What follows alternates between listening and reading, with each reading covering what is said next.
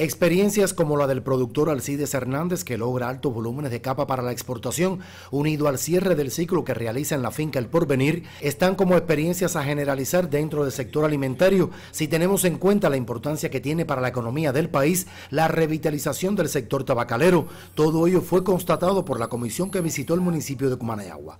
Asimismo, comprobaron los integrantes de la Comisión Agroalimentaria Municipal cómo ponen en práctica estrategias encaminadas a lograr el autoabastecimiento local. Para ello, el territorio cuenta con un potencial productivo suficiente. La presencia de alimentos para la población en placitas también estuvo dentro de la agenda de trabajo. En recorrido pudieron intercambiar con los pobladores y conocer su estado de opinión en cuanto a la distribución y presencia de alimentos en las tarimas. El sector ganadero en Cumanayagua en plena transformación está como uno de los aspectos a perfeccionar desde la empresa pecuaria El Tablón, todo ello dirigido a la conservación de la masa ganadera. Para ello trabajan intensamente en el desarrollo de la hembra como puntal genético que garantiza el reemplazo.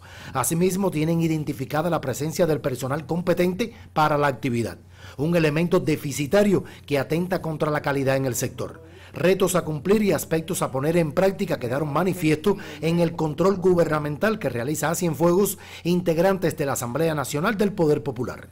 Desde Cumanayagua en Cienfuegos y para el canal cubano de noticias, Guillermo Martínez López.